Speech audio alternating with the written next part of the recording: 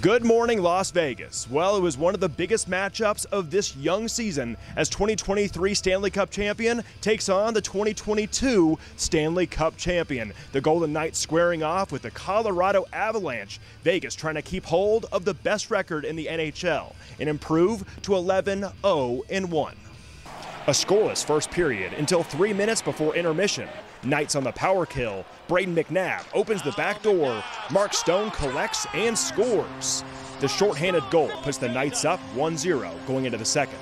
Midway through the frame, Jonathan Marchessault coming off a hat trick. Here he shares the puck, feeding to Jack Eichel, who fires and strikes. On the two year anniversary of joining the Golden Knights, Eichel scores to end his cold streak, going without a goal in the last six games. Knights up 2 zip.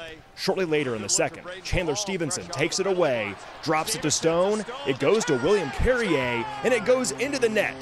Will with the thrill, putting the Knights in control, up by three. Fast forward 52 seconds of game time later, and it's another Vegas goal.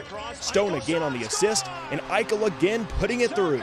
Jack Eichel celebrating his two year with two goals on the night, and the energy at T Mobile is palpable. Golden Knights in control, leading 4 0, hitting the third. On another power kill, Stone on the fast break, wanting his second shorty of the night, and he'll get it. Two goals and two assists for the captain. 5 0 Vegas, and the party was just getting started. Later in the third, William Karlsson slicing down the ice, flicking in a beauty to make this one ugly. After another Karlsson goal later in the period, the Knights complete the shutout with a 7 0 win.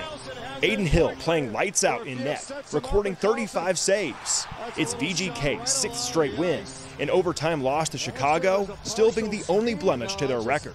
And this team knows that they're in a groove. You know, we rely on our four lines. We take a lot of pride in having a, a deep group, and um, I think you see that uh, shine in, in, games like tonight where uh, there's a lot of contributions up and down the lineup now that we're kind of moving the puck, moving moving bodies in and around, and just just playing. Because I mean, we're we're a great five on five team, so if we can kind of bleed a little bit of that into into our power play, I think it just makes us better. All good vibes in the VGK locker room, but they can't celebrate for long because tomorrow they're heading to Anaheim to face off with the Ducks. Puck drops at 5. Reporting from T Mobile Arena, it's Nick Walters. We'll send it back to you.